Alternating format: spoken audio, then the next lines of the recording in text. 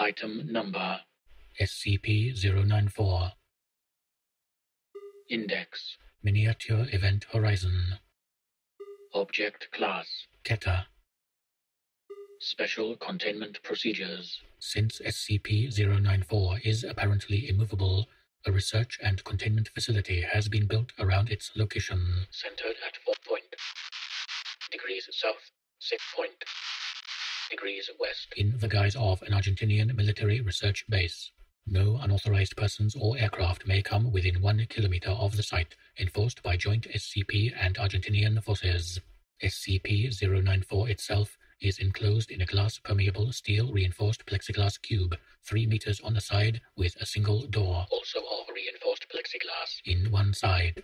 This door must remain locked at all times, except with O5 authorization under tightly controlled conditions. This cube is kept in the center of a 20 meter by 20 meter room, accessible with Level 4 authorization.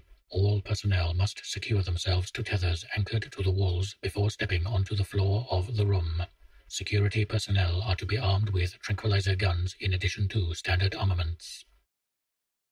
Description SCP-094 appears to be a perfectly black sphere, 163 centimeters in diameter, suspended approximately 3 meters off the ground, with no apparent means of support.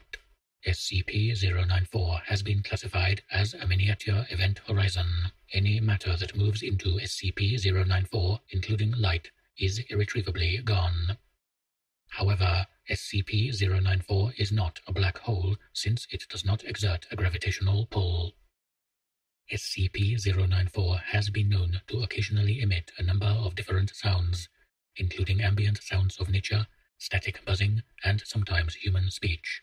No attempts to communicate with SCP-094 have yet succeeded.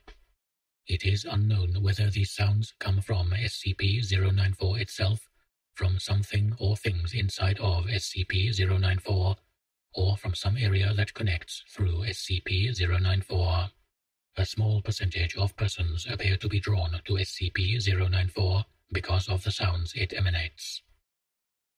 SCP-094 was discovered in 1920 in the Chubut province of southern Argentina and at the time was estimated to be 20 to 25 centimeters in diameter.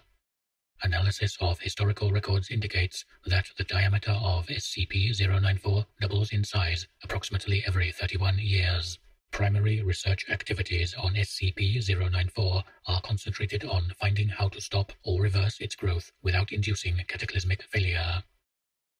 Addendum The hand on SCP-1032, designated SCP-1032-15, will achieve its Midnight Event on 0904-2690, approximately the same date as SCP-094 will fully engulf the Earth at its current rate of expansion. Note. A few millimeters a month may not seem like much, and no, at the moment you cannot see SCP-094 change day to day, but if it continues its exponential growth, in less than 250 years it will be a kilometer wide, including vertically, and that is assuming it does not grow even faster, which is an assumption that almost no one here makes. Dr. Llewellyn Garcia